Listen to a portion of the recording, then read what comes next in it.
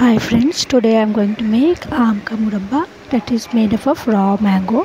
Ingredients, please check my post. I have mentioned all the ingredients whatever we are going to use. So first we take a kadai which will we will heat it and we'll add uh, one or two spoon of ghee in it. Once ghee is melted, what we will do we will add the raw mango that we have grated so we have to grate the raw mango and uh, i have taken 200 gram of raw mango in this so friends uh, i am using brown sugar here instead of white sugar. So i will add this. So i am taking half more than half or like you can say 3 by 4th of cup of brown sugar i am going to use in this recipe. So we have to mix that uh, jaggery and uh, grated mango nicely. And uh, brown sugar will leave juice can see this uh, watery thing is coming. It's melting. White uh, brown sugar is melting and it's making our mango so so delicious. So we have to stir it for some time. Approximately we have to stir it for 7 to 8 minutes and uh, we can cover it also and stir. So so i'm going to cover it and cook for some time.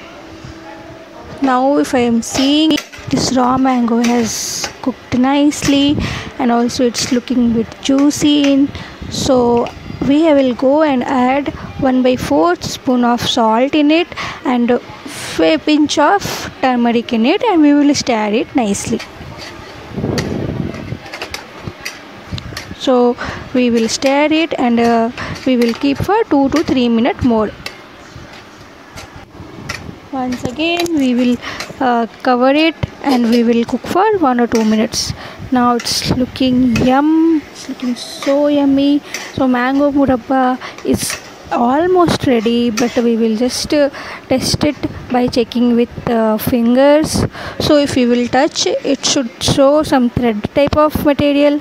If it is not happening just cover for one more minute and just try to make it. I am removing my cover and I will check again and I will I will use my finger and my thumb to check whether it is cooked properly or not. So let me see this. See I am able to see get that thread type of material whenever I am trying to say. So this mango murabba is ready.